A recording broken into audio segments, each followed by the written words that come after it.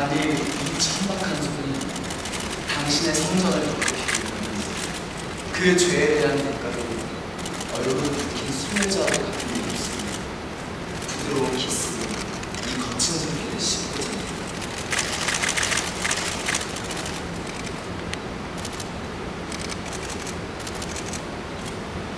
선량한 순례자님,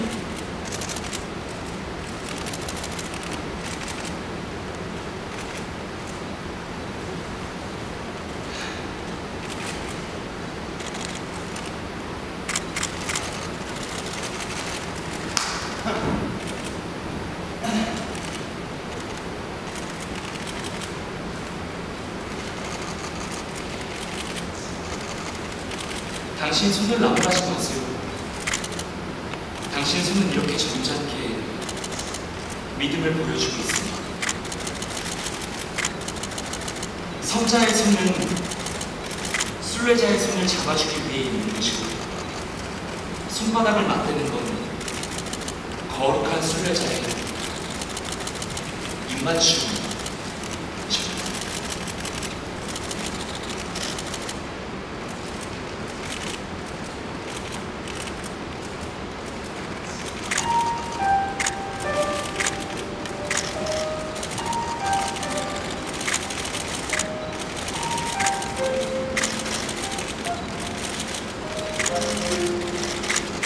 입술이 없고 순례자에게는 입술이 없습니다. 순례자님, 그건 기도를 하기 위한 입술이죠.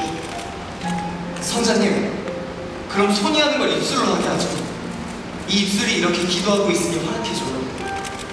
믿음이 절망으로 변하지 않게. 성녀상은 움직이지 못해요.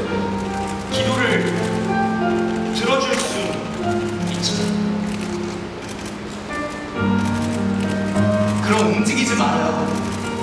내가 이 기도의 효력을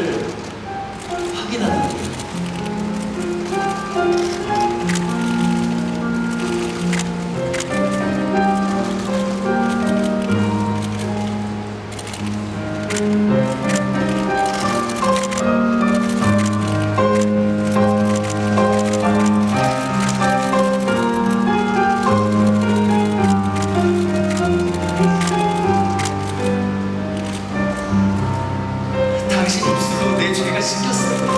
그럼 그 죄가 내 입술로 누웠고 내 입술의 죄가 당신이고 아 이렇게 달콤하게 원망스러웠어요. 내 죄를 다시 돌려줘요.